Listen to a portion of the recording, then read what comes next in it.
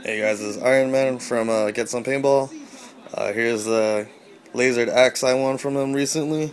So uh, here we go, I'm open it up so you guys can check it out. Said that he does deliver. He's not joking when it ships out and gets it to you guys. So it's brand new, never been used yet. Um, here we go. Custom lasered axe. It's called Target, I believe. Looks really nice. Opposite side, same thing. Alright, let me put that aside. There it goes.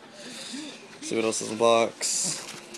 Uh, the barrel isn't lasered either. I wouldn't want it to be since I use aftermarket barrels. Not many people in any way really use, you know, stock barrels, parts kit, barrel stock, all that good stuff.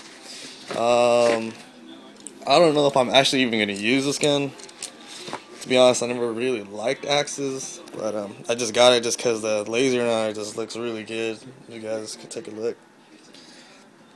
I think it's probably one of my favorite ones that they lasered for axes.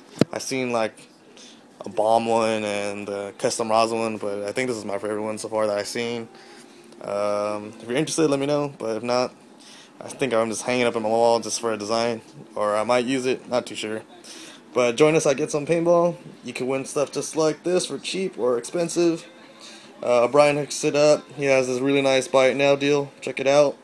And um, so you really pretty much never really lose money. So uh, join us to Get Some Paintball, win some good stuff like this. And see you guys there bidding. Later, guys.